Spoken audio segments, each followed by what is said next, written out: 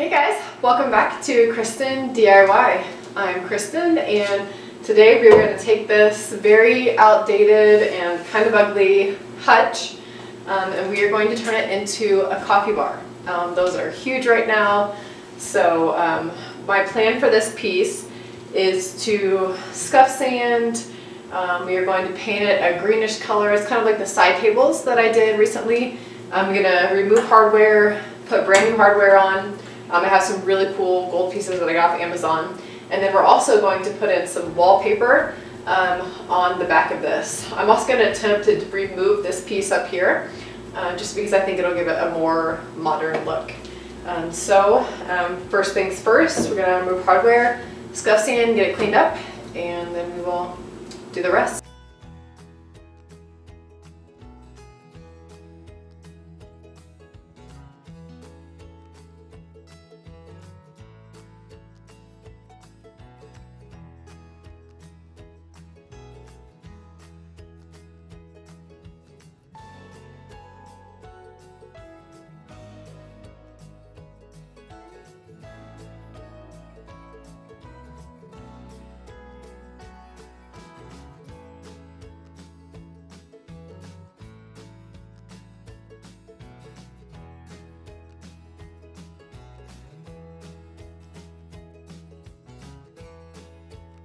Okay, we have the piece scuff sanded and um, what I did, because I could not get the inside of the drawers with um, with my sander, so I just went ahead and used a hand, my a, a piece of sandpaper and used my hand and went in and got the creases of those. Um, I'm gonna leave the inside of the doors and the inside unpainted just because I like the like the way it looks. Um, but now we're going to clean the piece really good. Remember to clean the inside and the out of it. And again, I just use um, three parts water at one part vinegar when I'm cleaning it.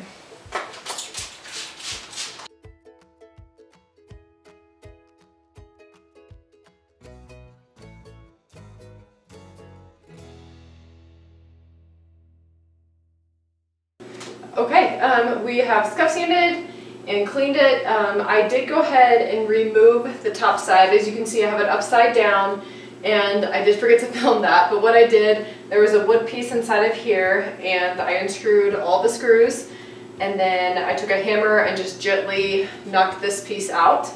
Um, so I will have to do a little bit of wood fill. There's um, some holes for the screws, so we're gonna sand this part down nicely and then I'll fill those with wood fill and then this will be ready to go. Um, I did go ahead and scuff sand the insides of this too because that will be painted. So um, remember with scuff sanding you want to get rid of the glossy areas um, so that the paint adheres to the wood. Um, so now we are ready to apply the paint, well wood fill, let that dry, and then we'll be ready to apply the paint. Okay, we are ready to fill in the holes with um, plastic wood. Um, it's wood filler that I use. It's DAP. Um, you can get it Home Depot, Ace, any hardware store. Um, I use this one um, a lot. It always works really well. Um, and I just wear a glove. And you want to make sure you completely fill in the hole while you're doing this. And then let it dry and then we'll sand it down. Um, this one always works really well because there's no evidence of holes after I sand it. That's why I like it the best.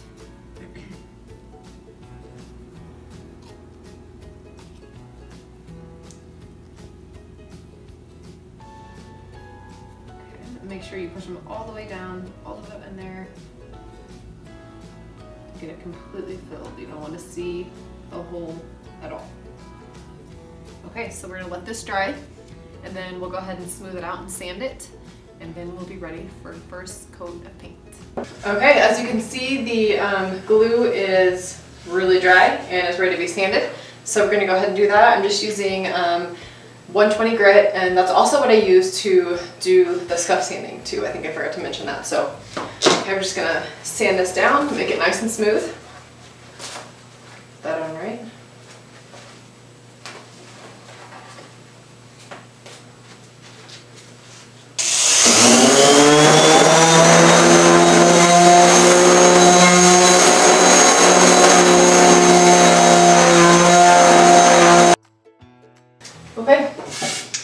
can see that, filled in the holes really nice, and it's just perfectly smooth. So we'll clean that again and then we will get started with the first coat of paint. All right, we are ready to put on our first coat of paint. Um, today I'm going to be using Melange One Paints um, and I'm going to be using the color Aloe Green. Um, this is the same color I used for the side tables that I just recently did and I love this color. Um, I think it's beautiful. It's not too bright or too green, but I really like it. So make sure that you stir it up really well. Remember not to shake this because you don't want the air bubbles in there. Give it a good stir and then we'll get to painting.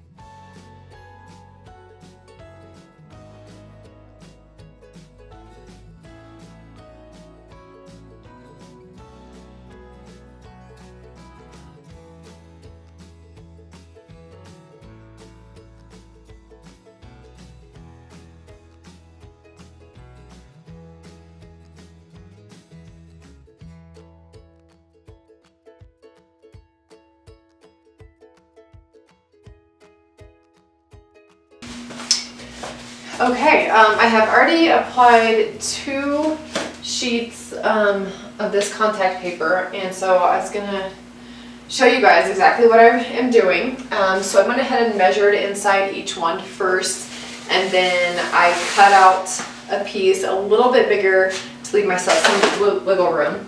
And then I place the paper inside of it and I take my X-Acto knife um, and I just go right along the edge after I have it laid out and it's cutting it really nicely. So I just cut right along the edge and um, what I learned on the first two is that I leave the corners um, just to cut with scissors because it works so much better um, than trying to cut it with this knife. So I'm going to go ahead and cut the inside of this and leaving the corners uncut.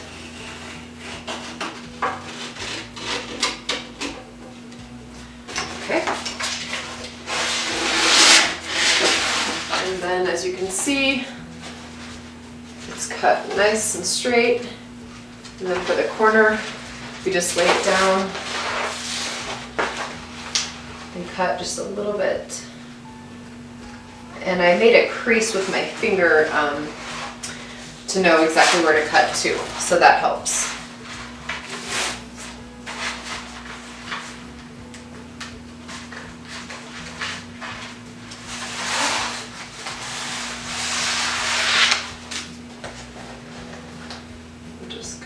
Right off. And this contact paper is a little bit tricky, but I am learning the easy way to do it. Okay, so I'm just gonna lay it in here and see. Should fit nicely. Okay, that is a really good fit. So now, you're going to peel back slowly one corner of the contact paper and then um, just do a little bit at a time. And then while you're peeling, just kind of take your hand. Um, some people use, I've people, seen people use um, any like straight edge or credit card even. Um, I just like to use my hands and go really slow and peel it off a little bit at a time.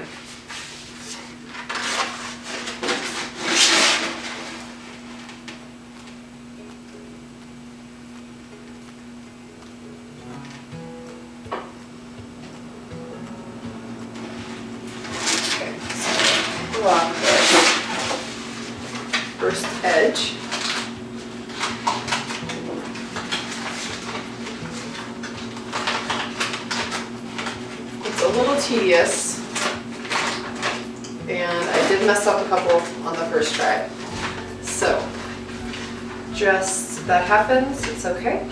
It's not the end of the world. And it is a learning process, so. It's much easier in drawers, doing this in drawers, so. Okay, so. It down nicely, right in the corners.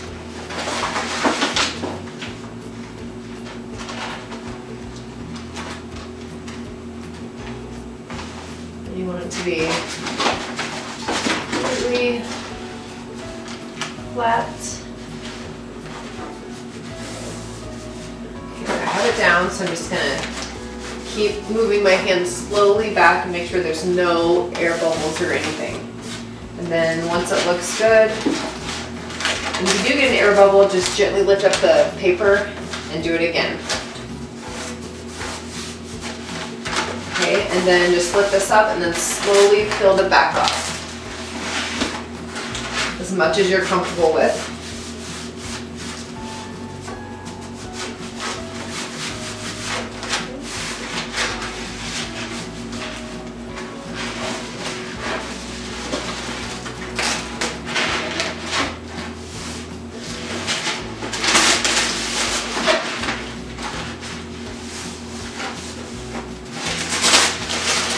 Actually not liking that, it needs to be a little bit lower.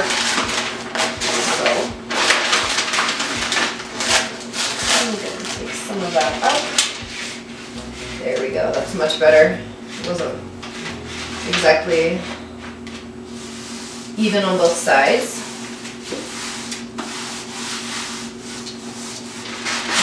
And a little air pocket, so I'm gonna re-lift that up and just smooth it out. As nicely as you can.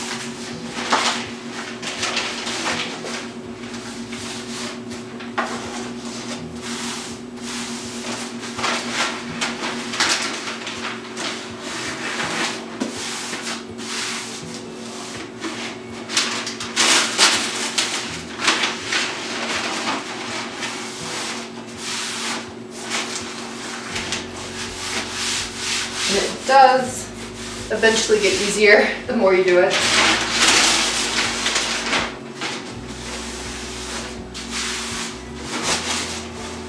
Gotta look out for the edges. They tend to get the air bubbles in them. And again, if it does get an air pocket, just lift it right back up.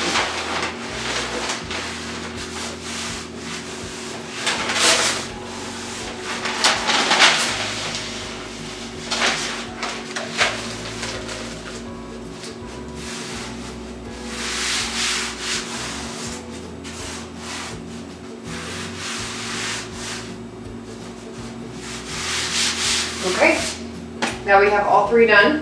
Um, next we are going to apply the hardware on the drawer and we are getting so close to being done. I'm super excited to see what it looks like. I actually decided to use some other hardware I had bought from Amazon.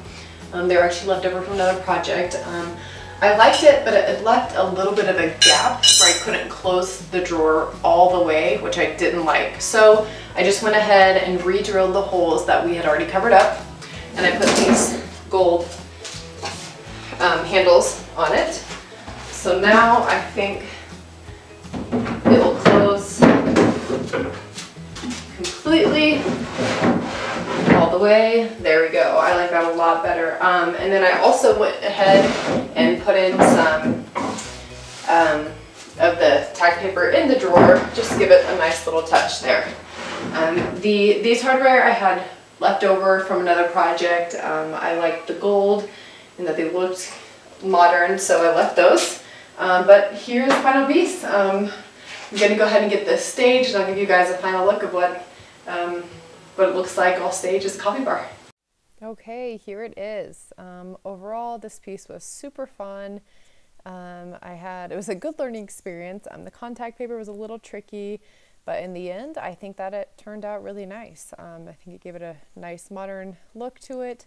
Um, also removing the top part really gave it a more modern look as well um, instead of that old um, hutch look. So um, please feel free to leave any questions or comments about this piece. Um, thanks guys so much for watching my channel. Remember to hit like and subscribe.